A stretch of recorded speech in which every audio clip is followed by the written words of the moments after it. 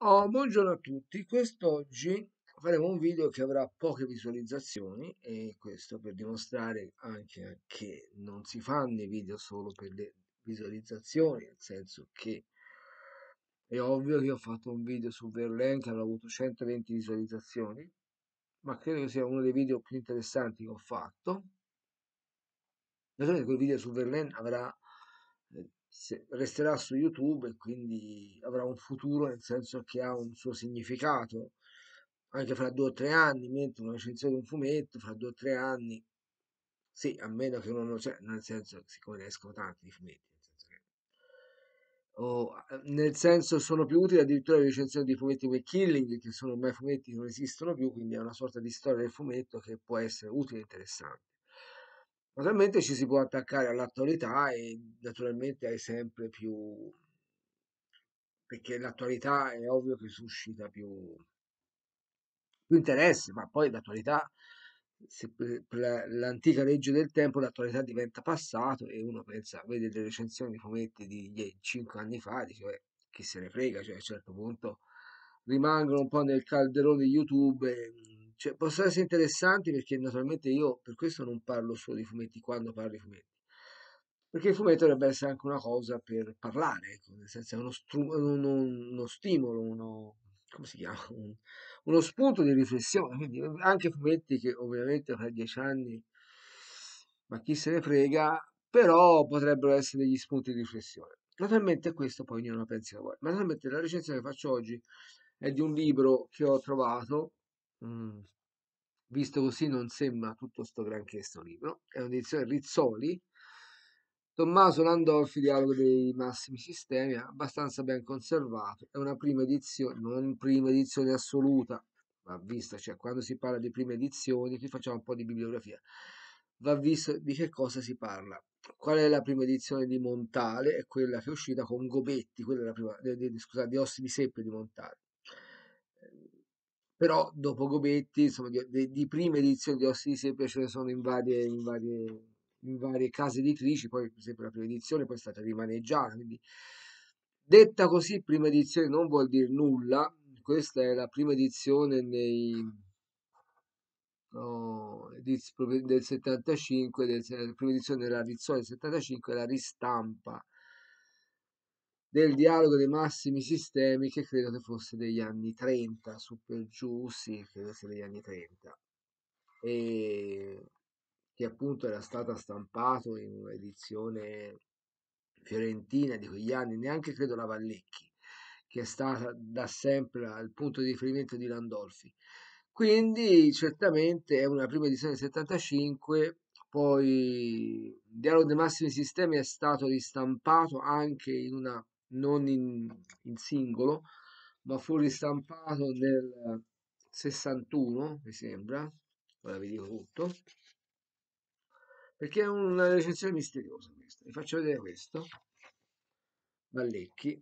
Non l'ho trovato in cioè la cosa, vabbè, c'è un po' di mistero in tutto questo. Mm. Nel 61 fu ristampata un'edizione di antologica della Vallecchi che ripubblicava tutti i dialoghi eh, più importanti, alcune opere più importanti di sì, Martin Misteri, di Randolfi con due opere grafiche di Maccari, pittore toscano, piuttosto anarchico, perdere, mm, che io ecco, non vi faccio vedere perché dovrei andare su a prenderla e mi fa fatica, ma um, quindi c'è stata prima di questa una riedizione, perso già il libro, ah, ecco, una riedizione dei Dialoghi dei Massimi Sistemi, ma come opera autonoma fu ristampata nel 75, poi è stata ristampata ovviamente negli Adelphi, curati da Idolina Landolfi, che era figlia di, era la figlia perché è morta anche lei, di Tommaso Landolfi, ed essere la figlia di Tommaso Landolfi era una cosa piuttosto scomoda. Oh, Landolfi è stato il più geniale traduttore di, di, di, letteratura russa in Italia senza essere mai stato in Russia, avendo imparato il russo autodidatta e questo ne fa una delle figure più geniali, forse dirò qui dirò qui, e qui non lo nego, non lo nego assolutamente, lo dico e non lo nego, il più grande autore italiano di prosa del Novecento. Superiore persino ad D'Annunzio, D'Annunzio di cui poi pre- prende le, le orme da D'Annunzio. E quindi questa è una prima edizione abbastanza pregevole perché si, un tempo si trovavano nelle bancarelle, io ne ho due o tre di queste nelle Ranizzoli, certamente non curate particolarmente dal punto di vista dal punto di vista grafico, nel senso qui c'è un'introduzione dell'editore, inizia con la ristampa del dialogo dei massimi sistemi e la pubblicazione delle opere di Tommaso Landolfi. I modi per riproporre lettori le opere di Landolfi erano svariati. Tuttavia, poiché se è vero che i testi landolfiani godono di un'eccezionale fortuna, cioè Landolfi gode di un'eccezionale fortuna critica, ma di una scarsissima fortuna di pubblico. Questo ci deve anche far riflettere a noi di YouTube, nel senso che non è detto che chi fa più cioè, Ecco, Landolfi non era uno che faceva molte visualizzazioni, diciamo, che non vendeva tantissimi libri, ma certamente chi conosce Landolfi mm, non ne può più fare a meno. Di tanti autori li leggi, poi li abbandoni, ma Landolfi no.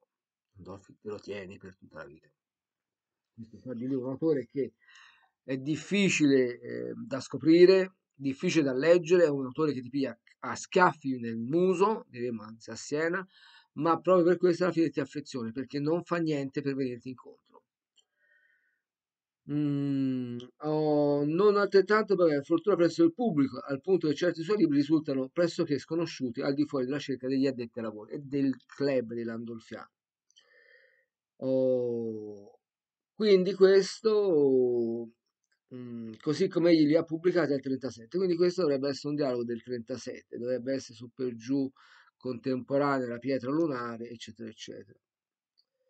Il volume che raccoglie i primi racconti di Landolfi apparve nella collezione di letteratura, quindi neanche nella Valletti, la collana che i fratelli parenti editori di Firenze pubblicavano a fianco della rivista omonima. In edizione originale 200 copie, quindi è ovvio che chiunque avesse la prima edizione del 37 di letteratura cioè avrebbe un'opera di, di valore. Mm, da allora il dialogo dei massimi sistemi non è più stato ristampato in volume singolo, per questo sta dicendo volume, perché dice in volume singolo? Perché è stato ristampato nella raccolta di volumi raccolte di Valdecchi nel 61. Per qua, questo, questa è la prima lista, cioè questa quindi, questo volumetto piuttosto scasciato, scacetto, la prima riedizione singola del dialogo dei massimi sistemi di Landolfi, dal 37 al 75 75, non era più stato ristampato. Quindi questa è una prima edizione non assoluta, ma comunque una prima edizione. Naturalmente, comprando un libro sulla bancarella, a un certo punto a volte compri dei libri, no? di solito a volte nei libri usati ci trovi dei, dei foglietti, degli appunti, chi, uh, perché di solito succede così, scusate, faccio. Chi, quando io morirò, magari mia figlia botta tutto e ci saranno nei miei libri qualche appunto mio che sarà rimasto lì, chissà che non è che gli appunti di Roberto Venturini avranno un grande valore, suppongo. Non Boh. Però in un altro libro, um, e nello stesso giorno, ma in un'altra libreria, in un'altra bancarella, ho preso un libro che non c'entrava nulla, era tipo un libro sull'utopia inglese dell'Ottocento, da, da Tommaso Moro all'Ottocento. Sto facendo questo gesto per dire Bisogna vuol dire non c'entra niente, cosa faccio anche un po' di mimica che serve sempre. E ho trovato questi due fogli. Uno di questi è rarissimo. Oh, questo è un foglio rarissimo che era dentro il libro.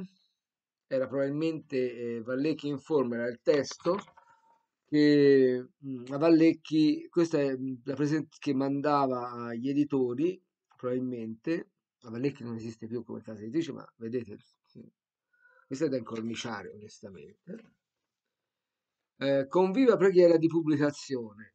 Landolfi, uno scrittore straordinario, non so chi ha scritto questa cosa, certamente qualcuno della Vallecchi, e che è una presentazione di Landolfi, eh, che sarebbe...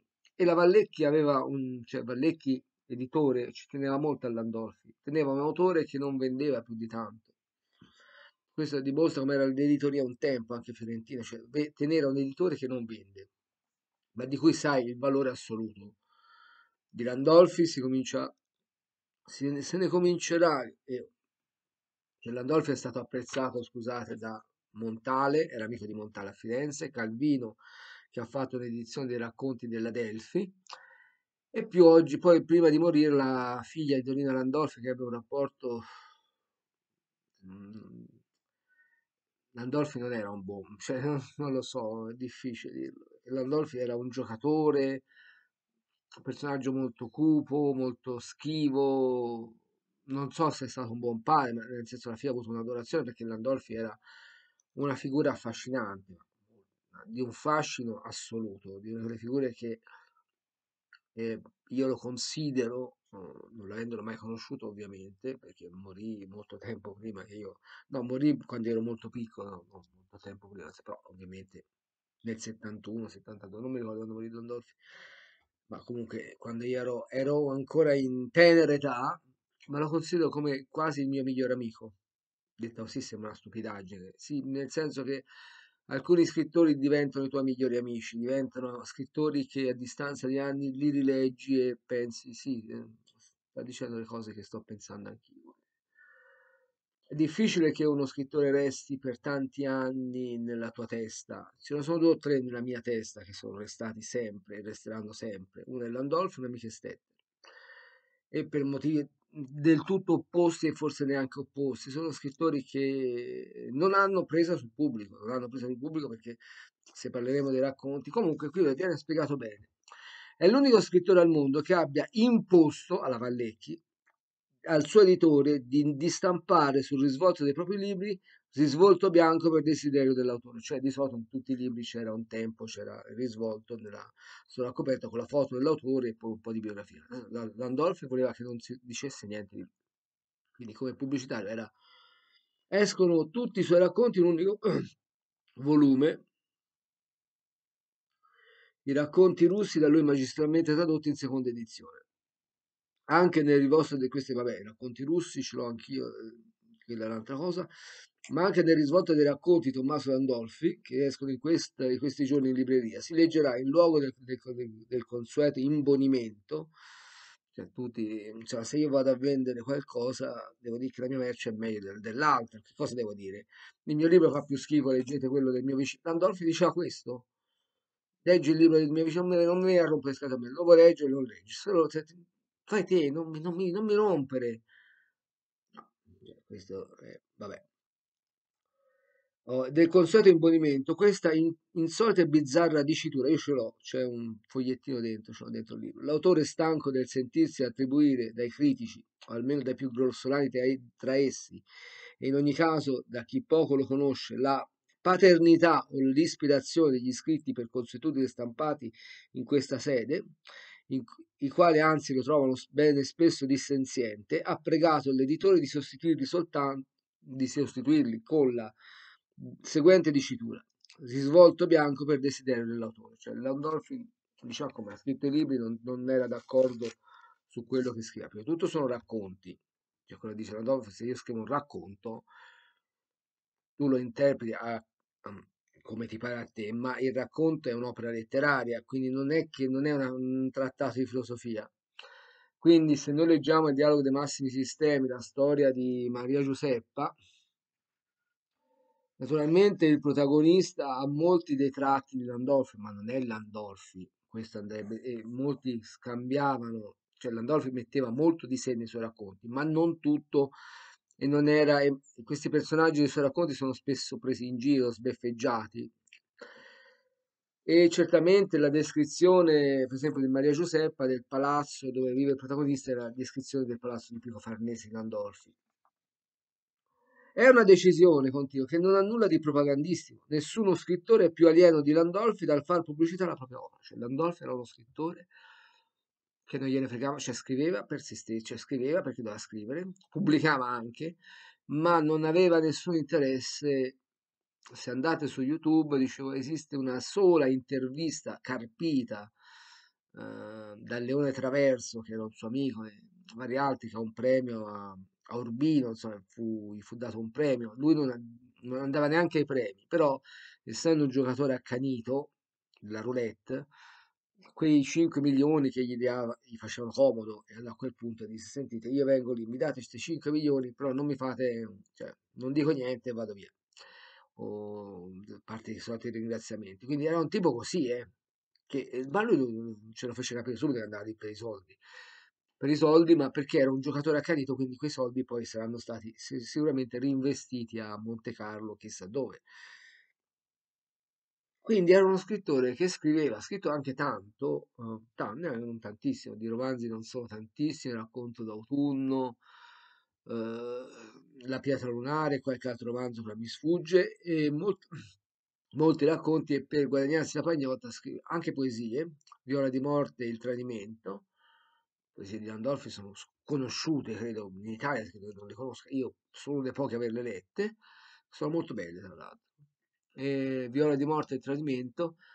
Eh, stavo dicendo, e molti saggi letterari interessanti, soprattutto sulla letteratura russa, di cui lui a Firenze, cioè a Firenze negli, inizi del Novecento, no? Cioè io ora vado su YouTube e mi ascolto qualcuno che parla in russo, un po' mi... Lui da solo, con una grammatichetta, imparò il russo, ma lo imparò talmente bene da tradurre Gogol. È come se io che vivo a Mosca mi imparo l'italiano talmente bene da tradurre Dante in russo, capite? Non è, non è semplice questa cosa. Mm, anzi, probabilmente, scusate, questa cosa che lui non faceva pubblicità sopra è senza precedenti, almeno in questa forma, non solo in Italia, ma anche nelle, all'estero. Pensate un americano che non fa pubblicità sui libri, non esiste, non esiste proprio. E dice l'indole bizzarra, fantastica, ribelle a tutte le convenzioni dell'uomo che è per unanime consenso dei nostri più autentici e veri, e veri scrittori. Cioè, Landolfi è un autore amato dagli scrittori più che dai lettori. Cioè, eh, il problema è che per capire Landolfi bisogna essere forse uno scrittore, oppure uno che insomma con la letteratura ci ha bazzicato. Perché se no, leggete questo libro, lo buttate dopo due pagine. Lo buttate veramente dopo due pagine, poi ci arriviamo però volevo farvi vedere, quindi, ma non è solo questo che ho trovato, eh. ho trovato solo questo, questo è un, è un ritrovamento per me eccezionale, eh. lo dirò in maniera, dirò magica, nel senso che come se ci fosse creato un collegamento, cioè è ovvio che è casuale, io ho comprato un libro, una bancarella e ci ho trovato questo, è casuale, l'autore, il proprietario dell'ex libro l'ha tenuto in biblioteca, gli eredi l'hanno venduto, bancarellaro non è andato a guardare che c'è dentro e, e tra tante l'ho comprato io, l'ho preso io. Naturalmente, interessandomi Landolfi, ho ovviamente subito fatto un balzo. Magari uno che non sa chi è Landolfi, cartoccia sta roba e la butta via. Naturalmente tutto questo ci può stare. Però io ho l'illusione che nel senso che è quasi un messaggio su una bottiglia che Landolfi mi ha mandato. Quindi, ma non solo questo, che c'è di meglio. Ho questo volume, se lo trovate, è difficilissimo recuperarlo, ma eh, l'ho trovato. 700 mm, pagine fra due costosissimi quadri Mino Maccari, gran parte dell'opera narrativa, il dialogo dei massimi sistemi, il mare delle blatte, che sono i scarafaggi, la spada, le due zitelle, le due zitelle di un racconto bellissimo, Cancro Regime, che è un racconto di fantascienza, Ombre, che è un capolavoro assoluto, e Ottave di San Vincent, che sono ombre, io penso, dei libri che più mi ha sconvolto della storia del, del, di tutto, ma non della letteratura di tutto. Ombre è la mia infanzia, è la mia... perché Landolfi non è nato a Firenze, è nato in una provincia, provincia provinciale, un autore di provincia, quindi io mi ci ritrovo in quelle atmosfere perfettamente. Pochi libri hanno un fascino, una verba una carica di inventi. Questa è stata scritta a macchina e poi ciclostilato, credo come questo di Landolfi, a quei tempi nel 61 si sbatteva ancora a macchina.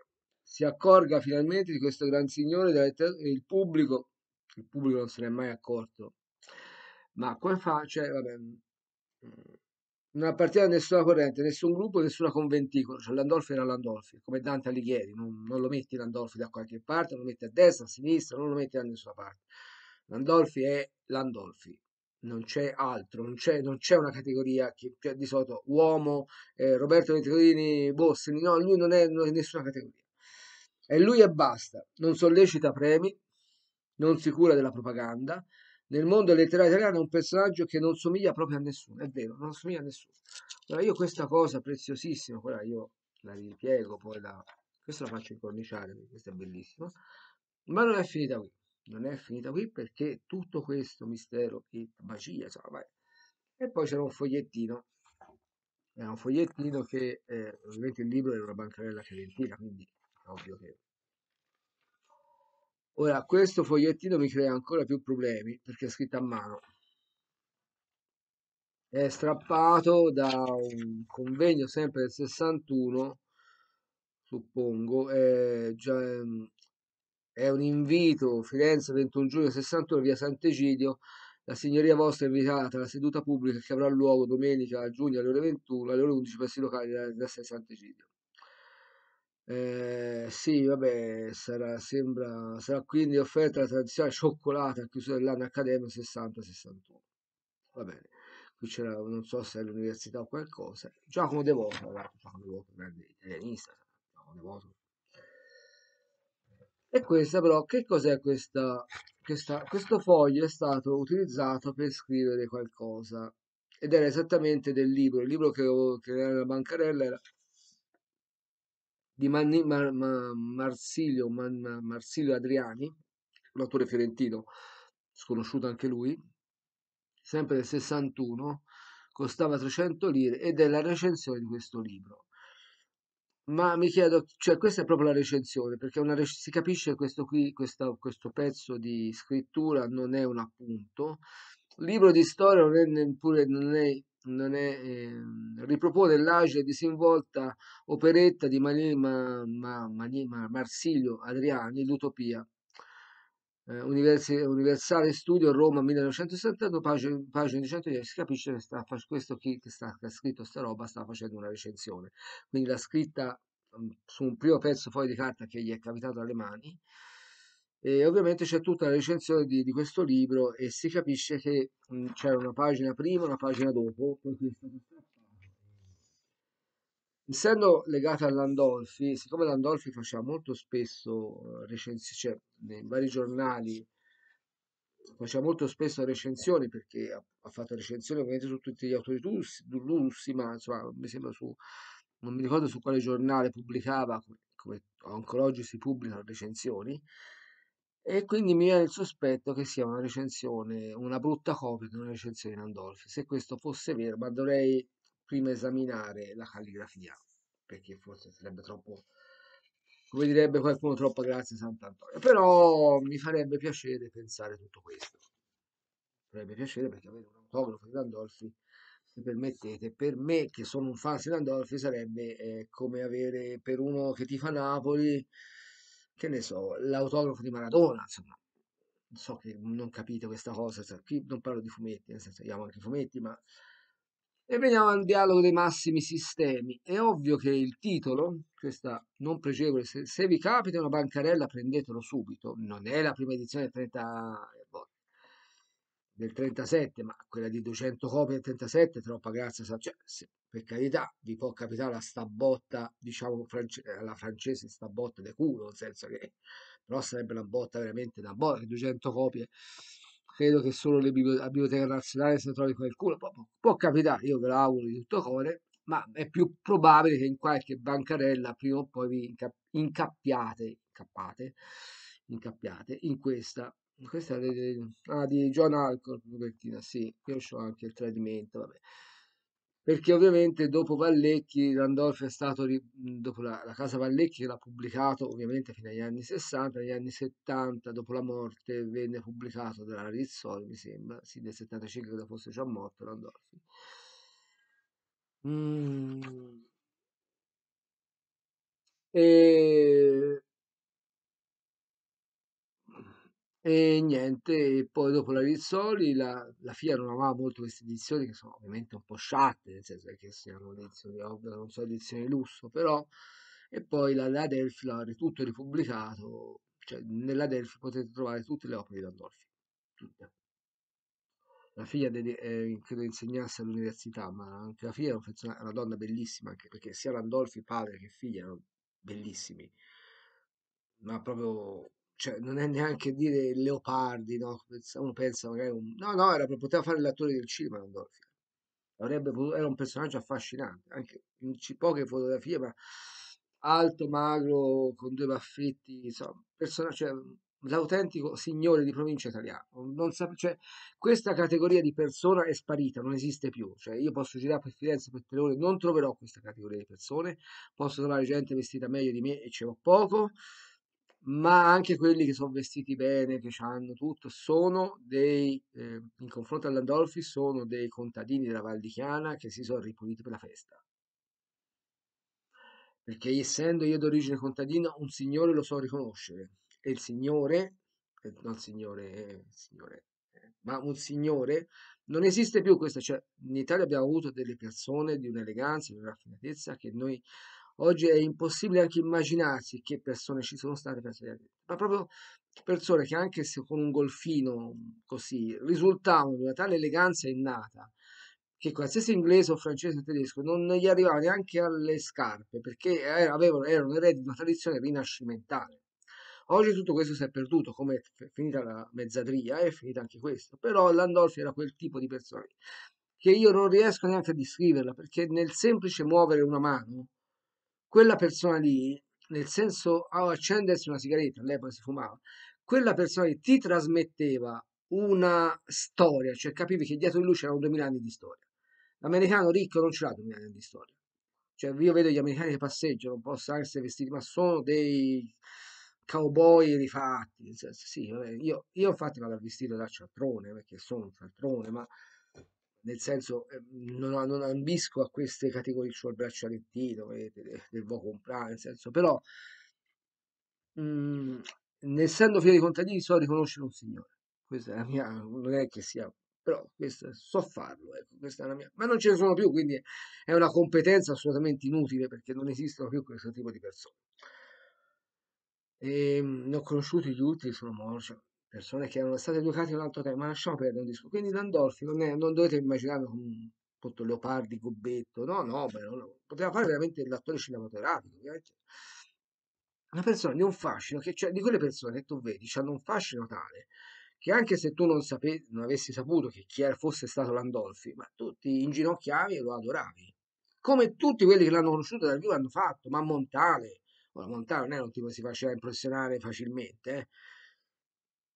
Eugenio Montale, Leone Traverso, penso a tanti altri, che sarebbe un discorso. Quindi eh, veniamo quindi, questa edizione dice, vabbè, parliamo un po' del libro che naturalmente se vi capita iniziate a leggerlo, vi, il lettore eh, non avveduto lo butta subito, perché racconti anche Landolfi aveva il fantastico pregio di irritare i lettori. Cioè Landolfi per amarlo prima ti piglia schiaffi per 5 o 6 pagine, ma proprio ti piglia ceffoni. Ta, ta, ta, ta, ta, ta. E quando ti ha preso a ceffoni, se tu lo ami talmente tanto, come è il mio caso, alla subito dice sì, prendimi a ceffoni, sì, deve essere stato masochismo. Così, sei una cosa masochista. Club privé, no, ma veramente dici sì, prendimi a schiaffi, ma continua a parlare, voglio sentire quello che hai da dire. Perché Landolfi ti umilia, ti umilia con la sua grandezza, ma proprio ti umilia e per questo non è, non è facile. La storia di Maria Giuseppa è la storia di uno stupro. Dice cazzo, eh, scusate, eh, cavolo, mi è scappato il francesismo, ma me la storia, vabbè, è la storia di, di un signore, di un uomo che vive in un castello di Roccat, per questo poi Landolfi si arrabbia, perché dice questo è successo davvero a Landolfi e ovviamente c'ha questa serva religiosissima, Pia, proprio Pia, che va tutte le domeniche a messa, e ovviamente sente il bisogno di distruggere questa sua, cioè non è, è brutta, Maria Giuseppe è una contadina brutta, ma proprio brutta, cioè capite che i racconti di Andolfi sono inquietanti, ma di poco inquietanti. Cioè quelle contadine che io mi ricordo proprio brutte. E lui ha questa cosa di, di, sacri, di sacrilegio e blasfemia No, so se sì. E quindi, ma poi lo stile di Landolfi, solo lui, aveva, solo lui e D'Annunzio hanno avuto questa padronanza. Nel secondo racconto, eh, si ricorre molto spesso temi, rapporto con le donne, molto, sempre molto problematico. Landolfi aveva rapporti problematici con tutti, con gli editori, Vallecchi, siccome Vallecchi è stata la casa editrice che per fortuna a Firenze all'epoca c'erano persone intelligenti, all'epoca, oggi non ci butterei la mano sul fuoco, ma questa è una, una polemica che da sinistra non voglio fare. La morte del re di Francia si doveva intitolare, c'è il bagno, cioè morte del re di Francia, clown di Milan en vérité, e mi manda molto spesso Landolfi a, a parte Gogol che c'è questo gusto dell'orrido, del mostruoso, del del, del voler épater les bourgeois, rimanda molto spesso all'Autremont, eccetera, eccetera, autori francesi, racconti crudeli di Audrey vabbè, non ricordo come si chiamava, racconti crudeli, tutto quel gusto francese di épater les bourgeois, ma in Landolfi diventa ancora peggio, perché questo è uno che sta in, è un nobile, anche questo prendeva sempre nobili, lui era nobile, era veramente nobile, principe, nel senso come Tommaso di Lampedusa, però Tommaso di Lampedusa è diventato famoso perché non ha scritto cose così, che in bagno, sta in bagno a fare le sue cosine e immagina tutto un racconto salgariano e tu inizi tutto questo racconto salgariano di avventure, capisci che, che è montato, no? Come se leggessi L'acqua della steppa, insomma, mie prodi, mie baldi, andremo all'assalto. E tu capisci che c'è qualcosa che non torna in questo racconto.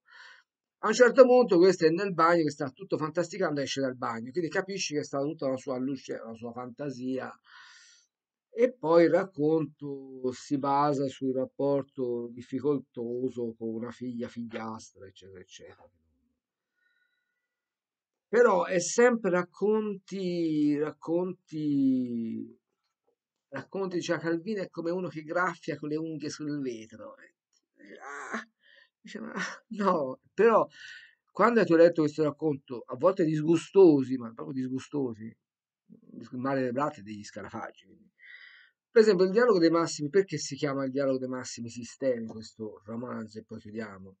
È ovvio che rimanda a un titolo, il Galileo il dialogo dei massimi sistemi. Allora uno legge questi racconti e dice, ma che, che- che cavolo c'entra Galileo? Galileo sapete che appunto c'erano i tre personaggi che discutono, eccetera, eccetera. Ed è il passaggio da un mondo medievale a un mondo moderno e contemporaneo. Nel racconto del dialogo dei massimi sistemi che dà origine alla serie, a tutta la raccolta,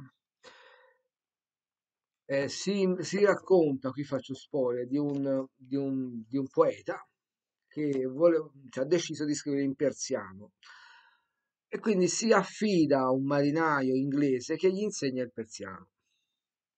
Lui tutto contento comincia a scrivere in questa lingua e poi a un certo punto si rende conto, Landolfi è crudele, eh? si rende conto che questo marinaio non gli ha insegnato il persiano, ma una lingua totalmente sconosciuta, che nessuno parla. Aga, Magera, Difura, Natun, Guam e Shun, Saniti, è quella lingua che, che funziona, probabilmente è un'invenzione, cioè, capite, gli abissi di genio di Landolfi, io non so neanche spiegarvi ragazzi, sto andando un po' lungo perché Landolfi è difficile farlo corto. E, e a un certo punto dice, ma io sto parlando una lingua che parlo solo io, poesie bellissime che leggerò solo io, e questo problema della comunicazione, del fatto della lingua come codice della poesia, la poesia, se io mi invento una lingua mia e scrivo la più bella poesia del mondo, che però posso leggere solo io, in questa lingua che ho inventato io, è una poesia questa cosa qui o no? Capite che il, il, gli abissi di, di, di cervello che aveva quest'uomo. Chiudo qui perché siamo a 33 minuti e siamo andati oltre, eh, oltre, oltre tutto. Naturalmente questo video avrà pochissime visualizzazioni, ma eh, me ne frego altamente e consiglio ai miei colleghi YouTube ogni tanto di fregarsene altamente le visualizzazioni. Poi uno dice, ma tutti stanno... No, tutti no, scusate. Se permettete, esistono persone come Landolfi. So che è difficile per qualcuno immaginare che esistono persone come Landolfi, però sono esistite, esistono, quindi ci sono persone che che fanno queste cose. Cioè, questa, questo video io l'ho fatto per mero piacere mio personale. Se come qui segue Landolf, se qualcuno se lo può vedere questo video, bene, se nessuno se lo può vedere, bene uguale. Con questo vi passo e chiudo.